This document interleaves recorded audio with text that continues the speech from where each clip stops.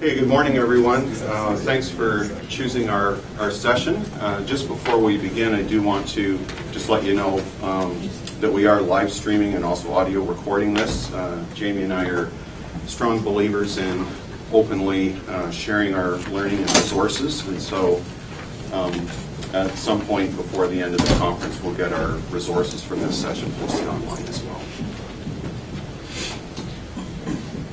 So I'm Jamie Reaburn Weir, and I'm a high school English teacher in the Waterloo Region District School Board at Huron Heights. And uh, there's my bio. Okay, and uh, for me, Mark Carbone, um, I guess in some ways this is my old bio as I have recently uh, transitioned into a nice flexible um, schedule as a retired person. Um, so I guess retired guy is my new title. Um, but um, still, of course, passionate about the ed tech space and how technology intersects with learning and assessment. And um, hopefully you'll get a good sense of that this morning. Just an FYI, FYI too, I am not the teacher that stands at the front and lectures. I am more the teacher who's in with the students. I give them the, the little spiel at the beginning of the class. So this is not really my comfort zone, being at the front talking. So just FYI, because uh, I am very much more the, stu- the teacher that works with the students. So just give you a little heads up there. Um, yeah. So uh, we want to talk a little bit about how we got to having one-to-one Chromebooks in our for all our grade nines in WRDSB. But for that, we want to tell you the story of how we um, arrived at that destination. And the first thing we want to discuss is that our board's actually really, really innovative, and we have been for a very long time. Uh, and this, the WRDSB Futures Forum project started seven years ago. Mark and some other very innovative people here on our board um, did a PLP project with uh, Sheryl Nussbaum Beach and Will Richardson. And from there, their brainchild was to start a class that focused on grade 10 academic level students. And they would take grade 10 academic English, and then they would take civics and careers, which we know are very much the most failed courses in all of Ontario. And what they wanted to do with it was have one teacher teaching two periods a day, so you saw the same students. Like for some schools, they did it where it was all morning or all afternoon, or one period in the morning, one period in the afternoon. Most of them were one block of time. And so you saw this, same teacher with the same students for all morning, for example, and they got three credits. But instead of it being that the first period was English, the second period was civics, and then halfway through the term it switched and it was careers, it was spiraled. And so um, with that, um, it was the students were in getting the, all three credits, uh, but in a variety of ways. And so um, for many teachers, they used the content from civics and careers and then the skills from English and wove it together into uh, a kind of an assessment practice. It's Very project-based, very digital. A lot of stuff happened within uh, a digital community. And so from there, um, the students had a very different experience. And this started seven years ago, which is amazing. It is. Um, and uh, we had 15 devices, right, to start with? Roughly. Yeah, so each class was given about 15 devices. Um, and truly, like, I, I, said this yesterday, but um, the fact that technology moves so quickly, that seven years ago, 15 devices in a classroom was revolutionary and you could do so much with it. 15 devices now seems for us anyway in WRDSB seems just like normal. And you know they did what they could with them at that time, but we do so much more now, I think. And uh, so starting that journey, um, we really wanted to focus on that the students could work together in the collaborative space. And so there was, for example, um, I believe seven high schools started with it.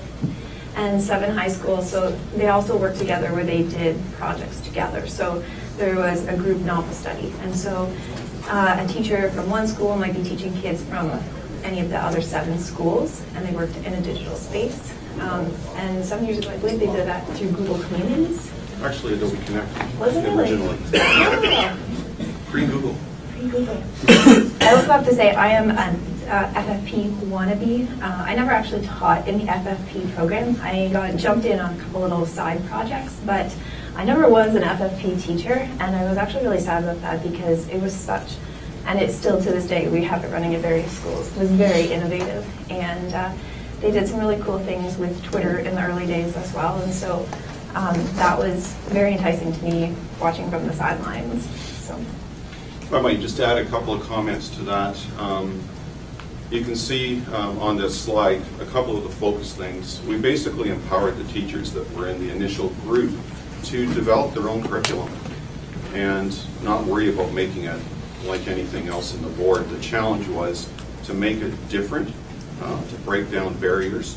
And so as Jamie described, putting these three courses together and considering the spiraled approach to achieving a two-credit package uh, was very innovative. And we based it on uh, these four words became kind of a slogan for us in terms of moving forward, anytime, anywhere, anyone, anything, learning. In other words, yes, the face-to-face time is important in the classroom, but it's much more than that. And um, we had the teachers design the course around um, these core elements.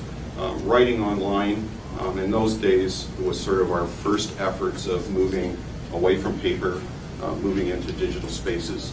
Um, looking at students generating content, um, producing their own content, not something that was predetermined necessarily by the teacher. Um, and in terms of the social media, that was huge. We were one of the first school boards to actually weigh into the Twitter and Facebook spaces. And uh, that was such a fantastic opportunity because what we learned through that was, maybe that's a good segue into um, what made a difference. As we started to explore the use of these other tools, um, students started feeding back to us that we like having another way to communicate with teachers and other students. We like having a voice that's beyond the now of the classroom. And we started to discover that students that were reflective thinkers might contribute to a, a conversation or ask a question outside of the class time. And so as we encourage teachers to um, maybe not only have a website, but maybe your website was actually a public Facebook page or to have a Twitter hashtag for your class, we started to realize that this was a powerful element in student voice and how, how we look at accessing it. And I was privileged to follow along on it. a lot of these things sort of as the, a remote uh, ed center person, if you would. Um, but what we started to see in here was some really interesting patterns. Uh, we started to see that students were learning from 5 a.m. until 1 in the morning. Why was that? They were learning when it fit their schedules. They weren't confining themselves to a particular class space. And you could see then they were building a community. Kids were helping kids on Twitter, kids were helping kids on, on Facebook. It wasn't just totally uh, dependent on, on that. In terms of the teacher space, uh, Jamie uh, mentioned in the initial uh, rollout of this project, we actually had seven teachers, but one teacher in seven different schools. And what we realized after, one of the things that really made this project go, oddly enough, was the fact that these teachers were isolated. There was no easy way for them to just have a conversation with the teacher across the hall or have a conversation in the staff room. They were forced to change their practice. They had to collaborate in a different way. They had to use these same tools that the kids did. And all of a sudden, that started to make a really interesting um, impact uh, on this.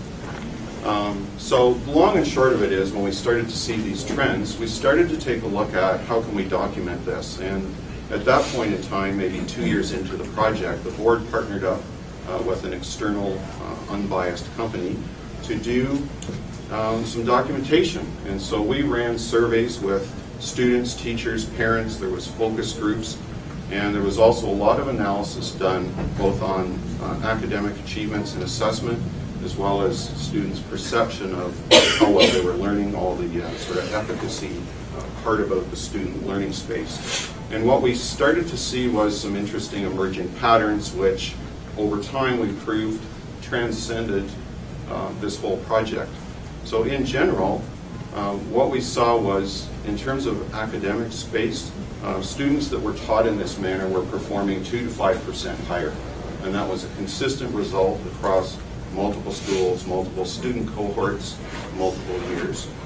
Um, we also found that the student efficacy scores about their learning and participating in that environment were also higher. And so that for us was a big aha moment. The question was, how can we take those learnings and start to scale up uh, what we're doing? Um, and so, um, to continue the journey, then we talked. We want to talk about that we've had a lot of other really innovative aspects of our school board, and I feel so blessed to work at WRDSB. Uh, we have had a lot of support as teachers.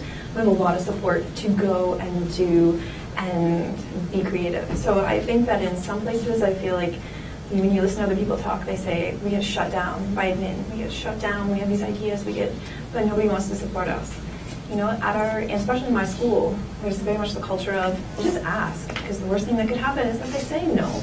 And but in many cases, they ask us to truly like, what is it you really want to do? How is that going to benefit the students? And then well, let's try and see what happens. And so um, that led to other various little projects that and pilots that have gone on throughout. Uh, and I mentioned before, I'm an FFP groupie, and so at my high school, um, I was teaching. Uh, English, and the students were coming out of FFP and going into grade 11 and saying, hmm, I don't want to go to a regular English class anymore. I want to go to a class that's very similar to this. How can we continue that? And so I, my other teachable is psych social anthro in HSP course, so individual society. And so um, I proposed to my principal at the time, hey, why don't we take grade 11 university English and we take HSP 3U and we combine them and we do the same kind of model, but we use the content from HSP and I get at the skills of English and I spiral the curriculum. And so then, welcome to 3UU. And uh, we ran it for two years at my high school. And it was a really amazing opportunity. So I saw students, and actually the way they set it up for me was that I saw them in the morning and the afternoon. So then, um, which was great because there are lots of times in the morning. You have kids who are um, awake in the morning, but then my afternoon class is always louder than my morning class. When you're dealing with teenagers, they actually wake up after 10 a.m. So um, we had, I would plan my classes that way actually to account for that. That in the morning, if we were going to do something a bit more on the quiet side, that was going to be done in the morning. If I wanted some really roaring discussion, I planned that for the afternoon my default is I'm a morning person and I like that, but you know what, it's good for the kids because they're more awake and more willing to participate that way. So it was really focused on what's best for the students. And so for us, we really, instead of focusing on, you know, getting some marks, um, we spent a lot of time talking about we're learners here and what I'm more interested in is that your skills get stronger. And so um, for a lot of students, that was a hard sell for some who hadn't come through FFP because we opened it up to whoever wanted to go into it. The FFP kids got it right away and they were like on board and that kind of thing. But we spent a lot of time talking about what I say to you, what I write to you in a comment is way more important than what number I put on your page or what level I put on your page. And so that was really where we, we tried to drive home the idea of it's learning that's really important to our students and for life. So we spent a lot of time with that. And the 3U course was absolutely amazing. Um, I feel very honored that I got to do that. Uh, I actually moved then to a different school to take uh, the department headship at another school. And uh, so what was really fascinating that happened after that is when, because um, we were supposed to create a grade 12 version. And uh, um, because I wasn't going to be there and the other teacher that possibly could have taught it wasn't able to, um, the students then who are going into grade 12 coming out of this program uh, spent some time thinking about, oh my gosh, what do I what do I do? How am I going to go back to a regular English class and in grade 12 when it really really counts for university? And they actually got together. They petitioned the principal. And they did a whole lot of work themselves I had spent quite a few lunch hours trying to coach them to figure out because you know it doesn't doesn't matter coming from me. It's grassroots and it's the student voice that's really important. And um, they didn't exactly get what they wanted, but they got um, they had the they got to listen. To, the principal listened to them, and he accommodated them in the best way that he could for the school.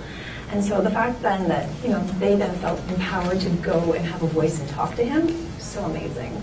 So and that's but that's the spirit of our board, is, is the idea of voice and expressing yourself and feeling empowered. We also have the English Digital Learning Project. I participated in this uh, for two years, a couple years ago. And what the English Digital Learning Project is, is that um, is bringing together a group of English teachers across. They also have a geography digital learning project, I believe, as well, and bringing together various teachers from various schools across the board together centrally um, to plan. Um, this year, um, our assistant head is participating in it, and uh, you'll see a video from her reflecting on the experience in just a minute. But um, what we spend a lot of time doing is thinking about is focusing on specific expect or sorry uh, overall expectations, but thinking about how do we really get out those strong skills and encourage students to really focus on that part of the learning. I believe this year they're focusing on the reading strand and that kind of thing, but we, as our school, we're allowed to think about, okay, where are our students weak, whether you're looking at data from EQAO, from a lit test, or whether you're looking at data that we just have from around our school. What we uh, were allowed to do then was choose what we wanted to focus on and what we thought would be the best way for students to enhance their learning. And so it's very much, teachers are allowed to design a project, implement it in their classrooms, and do the research that allows us to think about what's best for kids. And so these are some reflections. This one was from, uh, that's a snippet from my blog. Um, and then that is um, from one of our consultants uh, in the board. And uh, he had also um, taken a snippet from another teacher, and this was her reflection uh, based on her experience in DLP. And so the fact that we have these programs alone, just where we have a lot of freedom as teachers, is really amazing. So this is uh, the, my department, or assistant department head, and uh, she's going to reflect on her experience this year with digital learning. She's right in the middle of it. I started the ENG through CI course wanting to give students more voice and choice. So traditionally we had used one novel as a full class novel. And this year we decided we were using, going to give them choices. So I talked about the books. They provided me with a choice of the top three, and they were able to, in the most, in most cases, get their first choice of their novels. So they were quite thrilled about that, and they were very keen on reading. And in fact, one group, the bell had gone, and I was kind of, why are you still talking? And this, can we just have five more minutes? to She's talk talking about to your grade, grade 11 college. And I thought that was great. So we continued, and there were times when they were like, I just want to finish these two pages. And they had rules to complete for their novels, and they would complete them online or on paper. I didn't pressure them to do it online. I wanted them to do it online so that they could share it with their group members, but um, whatever they would complete, I would accept. So they did a very good job of completing their first novel. And when I gave them their second choice for their second novel, they kind of ran into some problems because it was more independent. So we brainstormed some ideas about why they were more successful with their first novel and came up with some interesting insights and that they liked the collaboration aspect, that they liked being able to talk with their group and have clarification of problems they were facing in their reading. And so those were the two main parts. But I also noticed from my perspective that as they're working in their groups, I walk around and I, this what part of the novel are you at? So it builds suspense and then they're more eager to read. But that's really great for us, like, to think, like, that's huge success in grade 11 college, because that is typically one of the hardest courses um, to motivate students in, for us, especially in English. And we talk a lot, we're talking a lot from an English perspective, because that's my wheelhouse, but there are lots of other programs that are happening across the board uh, in other disciplines. And, um, like, the big message here for us is that it's you know we we feel empowered as teachers to go ahead and say I have this idea uh, what do you think? And that's the message that's come from top down that you know what we are an innovative culture and that we live in KW and uh, we are an innovative uh, spot in the province. And so we need to model that as well in our school system and so um, that really comes through for us as teachers because we are empowered to try new things So at this point in the presentation, you can see there's been a heavy emphasis on figuring out the learning part of the classroom. What makes a difference? What's not only important for uh, teachers and administrators, but maybe most importantly, what matters to kids around having access to technology, having access to a variety of digital tools. And it was really at this point, I think, we thought we had enough research, enough evidence, um, and I want to do a shout out to uh, Michael Morgan, who's here today in the IT department at the school board, because what you haven't heard in any of this conversation yet is all of the things that happened behind the scenes to uh, prepare this kind of environment. So while all of these projects were going on and we were doing this important on the on the ground work with teachers, uh, we spent time building capacity um, on our Wi-Fi network, and so there was an enormous amount of um, time in studying the network design. Um, of course, we live in a time where um, security, data integrity, student privacy, all of those things matter.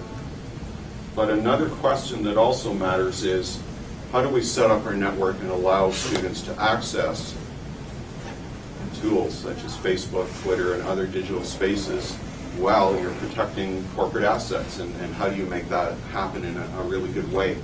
Um, we started to look at um, Wi-Fi density, and we talked to principals and teachers about where will be the heaviest use in your school. And those became the places where we started the program. It wasn't decided by IT that we'll just start in room A100 and work our way through the school. We actually talked to the schools about the heaviest use, how will your timetabling go for next year? How can we match our Wi-Fi deployment program to fit in with the student instructional needs in your school? We did a lot of work studying schools around dead spots. We don't want them. And at this point in time, if we fast forward forward, a wonderful network's in place. We decided that uh, we didn't want to bother with um, syncing devices and all this kind of business. And so we put a plan in place, I guess, Michael, three years ago, um, that we wanted to have a 10 gigabit network right from the access point in the school right out to the internet. And that's what's in place today, is solid 10 gigs. And so we're at a point in the school board where there's um, about a mobile device for two-thirds of the kids in the board. And we know for a fact that they can all be online at the same time functioning with issues. Kids using Google Hangouts, kids using uh, YouTube streaming, kids using virtual learning environments, um, a variety of tools. And in our view, from an IT planning perspective, Wi-Fi has to be like hydro. It's there, it works, and it has to be easy. Not here's the 50 steps to get onto our network. You can't access this, you can't access that. It was all about the ease. And so that, with that philosophy, it was really interesting to move from Jamie's part of the story into our first um, pilot project where it was sort of a live proof of concept for moving into one-to-one. So in this model, uh, we chose three schools. One was Jamie's school, um, and two others. And we wanted to work through the logistics. What does the planning look like? Again, we did not want this to be IT's telling the schools how to do this. The given is we're rolling out the service. The thing that we've learned is the importance, even at the rollout stage, of differentiation. When we actually got to the conversations, we recognized that schools wanted to do their rollouts differently, and we could accommodate that. And I'm going to play a video for, uh, for you in a second with uh, Colette Lush that digs into some of that. Uh, we started to talk about communications, what would be required. And so we worked collaboratively using our Google environment to develop uh, sort of a, a code of conduct. And of course, everybody wants to get into the weeds. Well, what happens when a kid drops their Chromebook? Well, yeah, that is a good question.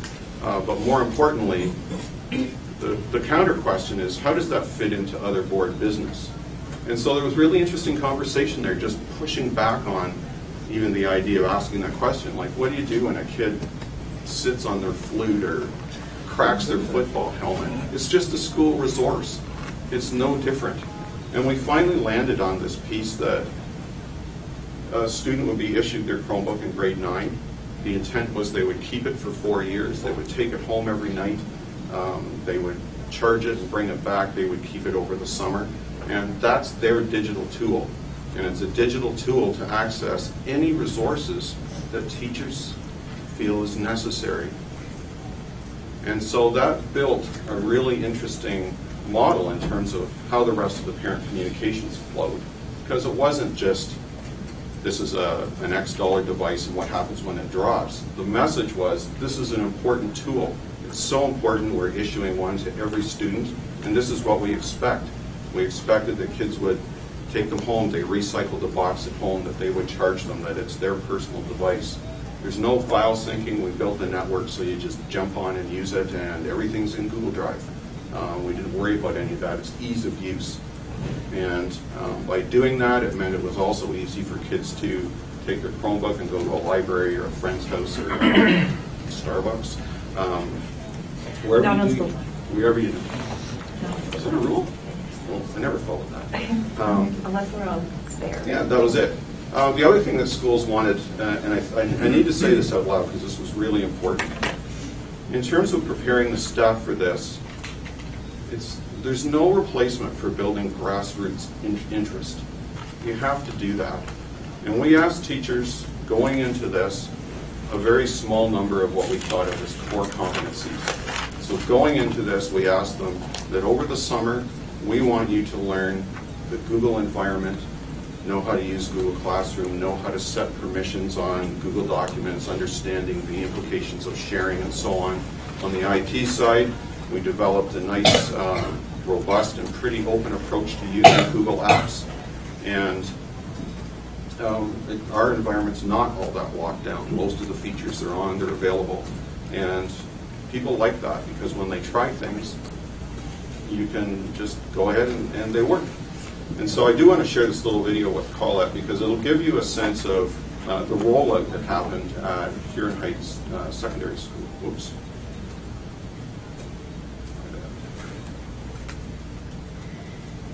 We're good. Hi, I'm Colette Lush. I work with the Waterloo Region District School Board, and I am the in-school tech at Huron Heights. So uh, last year we were the pilot school, and all grade nines received a Chromebook. Um, we received a skid of Chromebooks sent to us by the board. They were enrolled by the board, they were set up by the board, they were inventoried by the board, um, and it was the school's responsibility to get those Chromebooks into the students' hands. At our school, what we did was we uh, sorted all the Chromebooks by homeroom. At the end of the first day, we took all the Chromebooks and we delivered them to each home homeroom. There is a letter there explaining to the students what these Chromebooks are all about. This, this was brand new. Nobody knew what this Chromebook project was all about, this one-to-one project. And um, also a letter that we had parents sign and we asked for that letter to come back, just to acknowledge uh, the fact that, hey, you're getting a device given to you by the board, and it's your responsibility to make sure it's charged, and that you're bringing it to school every single day. It was the, the response that we received from both staff and students was absolutely phenomenal, and we, we didn't expect that. Everybody brought in, bought into it. Like, it was just the way that our admin introduced Google and Chrome to the staff is, I think, the make it or break it piece at Huron Heights. And we had a lot of fun with it. It was very relaxed. We even served s'mores. We, we treated it like camp. And just by having that really relaxed environment, we every single staff member was involved, going to all the different sessions. If they found it wasn't really visible to them, they would move on to another session. And that's how the Chromebook project was introduced to staff. They bought into it like that, and we've been flying with it ever since. It's been phenomenal. Fast forwarding to uh, September 2016, Yeah. you've moved now, the grade nines kept their Chromebooks, Yes, moved to grade 10, and so now you've uh, completed your second rollout. So share with us how that one was different. It, it definitely looked a little bit different. We have 16 high schools in our board. If we average, say, 300 Chromebooks per school, that's an awful lot of Chromebooks to be processed um, at the head office. Now, all the in-school techs were responsible for inventorying, labeling, um, enrolling the Chromebooks to the uh, Google domain.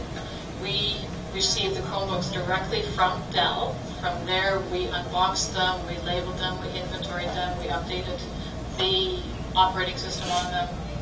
Yeah, we pretty much invented our own inventory system. Everything is based on barcodes. And we're actually using Google Forms as a database, if you want to call it that, um, where we're inputting all information and we're drawing different um, results uh, in terms of student applications, student uh, damage reports, within our inventory. So it is a fairly thorough setup that we have here. And by having that in place for our second rollout and having those barcodes to be able to scan to enter all the inventory, sped up the process significantly. Um, for us at our school, I think we had around 325 Chromebooks that we rolled out. It took us two and a half days.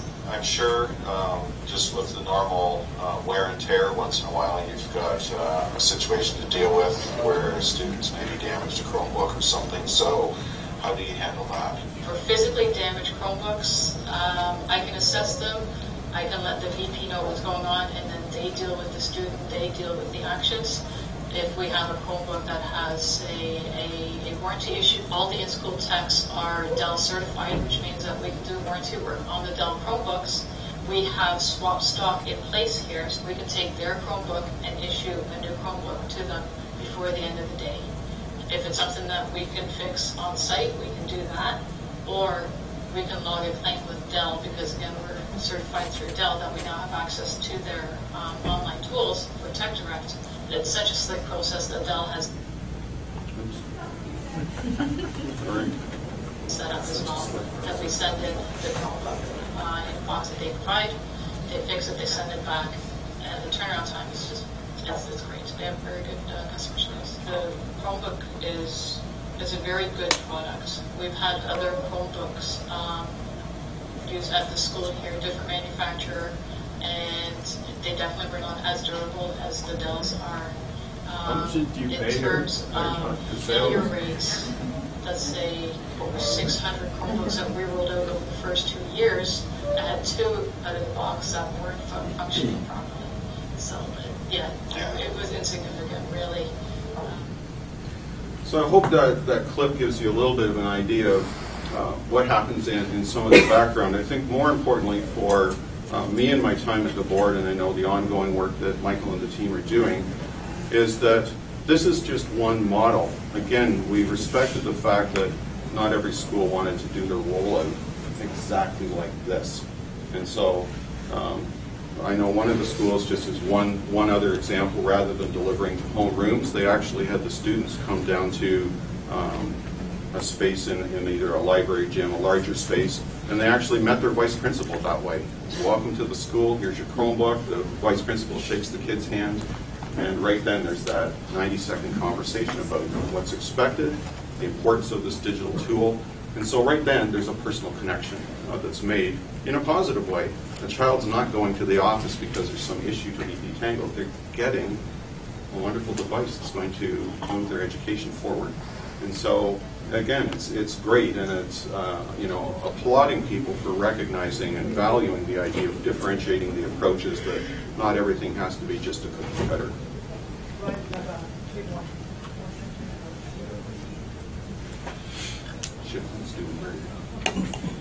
So from, uh,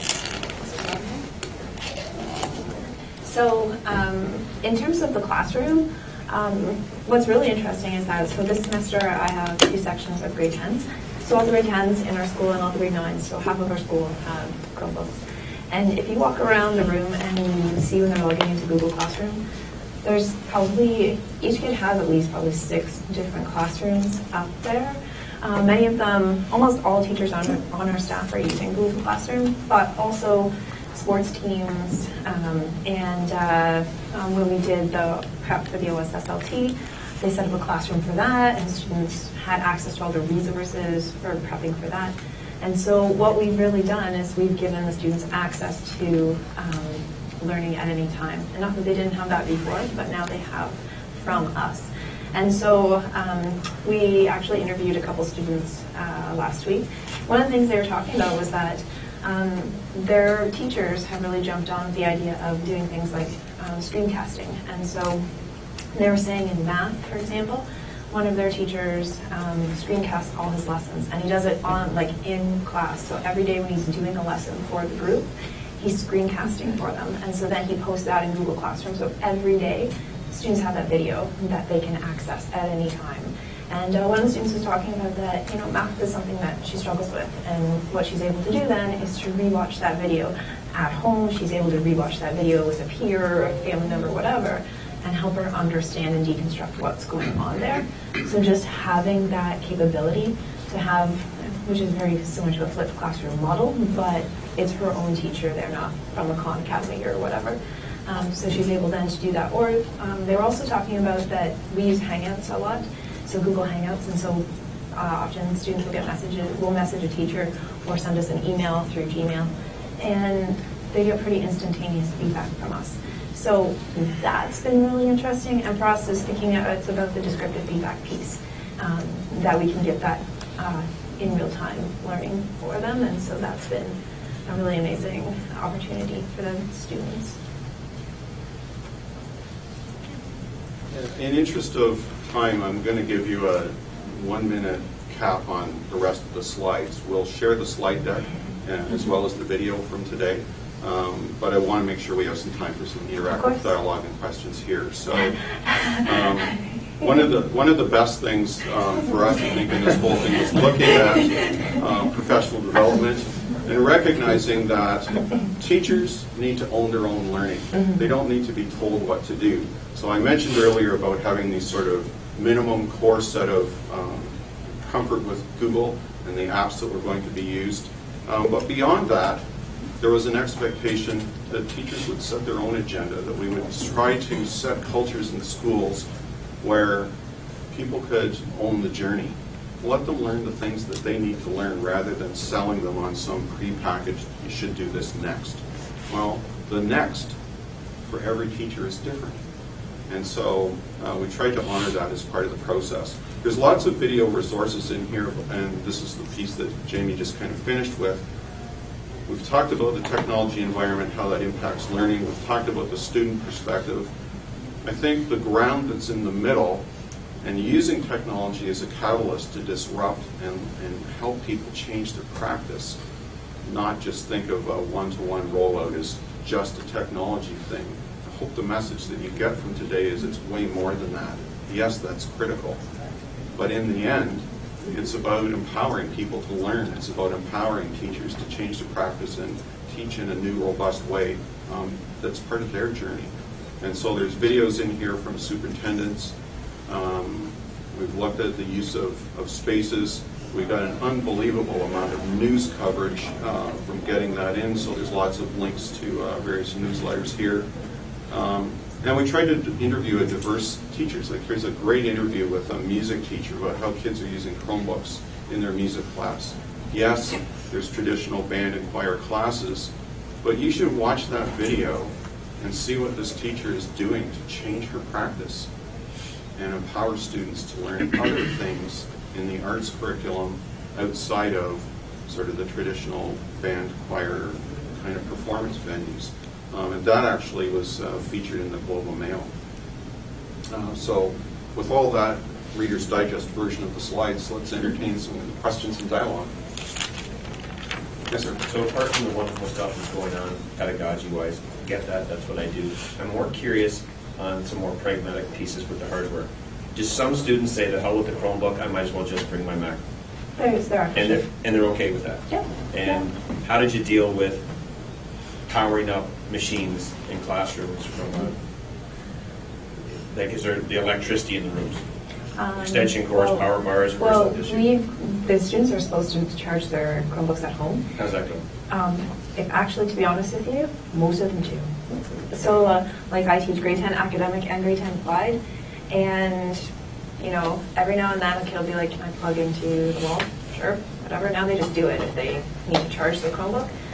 But, and I have an extra cord that um, I loan out, you know, for with collateral, but at the same time, it's very, like, in my class of 22 Ps, I maybe have two kids who don't charge their Chromebook on a regular basis. So they really, like, because they like to use it, it's important to them, so they charge it and they bring it to school. I would say additionally too, um, as part of the parent communication, we rolled that expectation out up front. And the model of Chromebook that we selected is about a seven-hour battery life, so we'll easily get through a semestered school day with half a battery left. Um, So, you know, most of the, the uh, school libraries will have, you know, a spare power bar and also a couple of loaner chargers if kids need them, but essentially in chatting with staff in all the schools, it's been absolutely a non-issue. So just to jump on that, we're in year two of our one-to-one, and we haven't added any additional, like, infrastructure for power or anything like that. We've done the same thing with the Chromebooks this, they last the day. It's amazing. Michael? Just want to throw in something so everybody understands. The power consumption overall in the school board continues to go south because of these initiatives. So at part of the, we did the math, Mark and I, just around the math of power consumption on these devices. And even with the increase in boxes, the power consumption is going south. They're charged at home. Yeah. One thing we didn't mention today too is as we roll out the Chromebooks and we've got this sort of four-year phased approach to it, what's trailing behind is a gradual withdrawal of school labs, which will further enhance power savings because at the end of the day, if you've got a school with say 1,200 secondary school students, you don't need eight labs. You might need two or three for specialty things, uh, but you certainly don't need eight. So the overall power consumption piece only improves over time. I think you had a question. Yeah, is the constant access, Facebook, Twitter, affecting teacher stress? Um, that's, a, that's a good question, but we use it as a teaching opportunity because those are not going away. Those students, you know, like I think it's not just students, it's adults too, right? Who are like addicted to whatever. And so we use it as an opportunity to say to the students, you know what? This is a time where you close, close your Chromebook, you turn your phone over or whatever, and you just interact face to face with people. And so we use this not, we don't see that as a distraction. You know, we really use as a teaching opportunity to how to manage that because social media and all the things that students are doing with their devices, we talk about, well, are you getting your work done? Are you being an effective contributor to the class? And if you're not, then you need to think about what you're doing with your time because that at the end of the day is important. Those are the skills they're going to need to manage in life. And that is, you know, lots of people struggle with the idea of, oh my gosh, they have, they have access to Twitter, Facebook, whatever, all the time.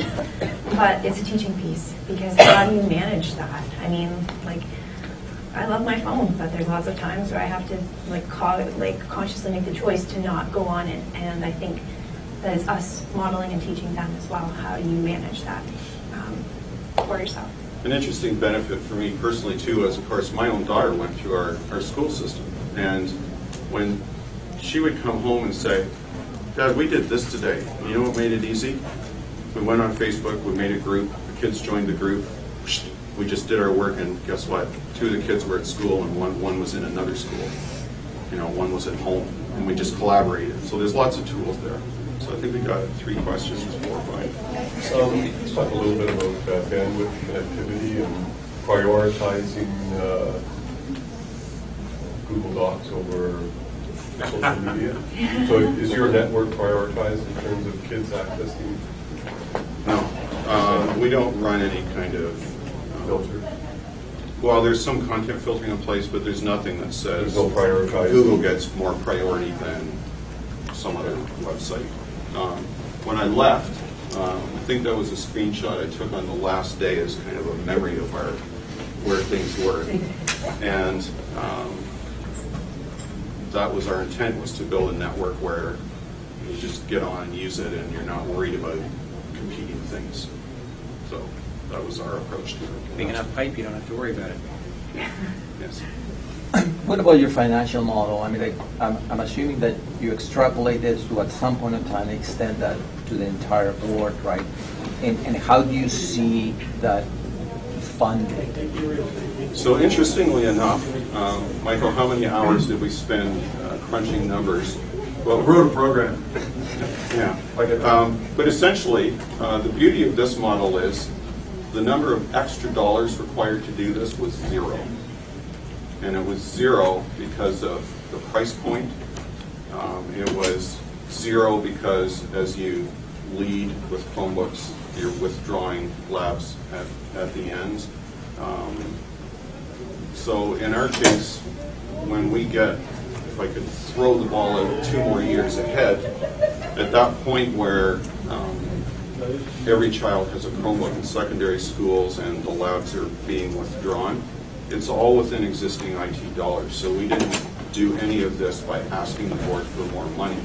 So from my perspective, and and I think Michael concur, unless there's some kind of massive change in how government funding works, or um, they do a massive restructure of, um, I'll say, the fairly traditional use of budget patterns over the last 10 years in the school board, um, we're golden. This will just roll on. There's no way that it can't work. Um, So, um, we're good there. Chris? So we, we got a one-to-one that started in the elementary and the secondary we're just starting. Uh, I've got actually a pedagogical question. Is was there a conflict as you tried to scale in secondary between this new way of teaching and learning and the traditional standardized testing with EQAO and um, and uh, um, um, the standardized literacy test because they are legacy formats and trying to move teachers away into the new standard of learning but preparing the students for those testing can produce a friction. I'm just wondering how you handled that. So at Huron, what we do is um, we're a five period a day school. So we have what's called MSIP, multi-subject instructional period, and so which essentially is a study hall period. And so we've done all of our lit test prep through that. Okay. And so the students, so it's, we do it in English as well, just because we feel responsible and to be to give a, a lot of credit to the rest of our staff.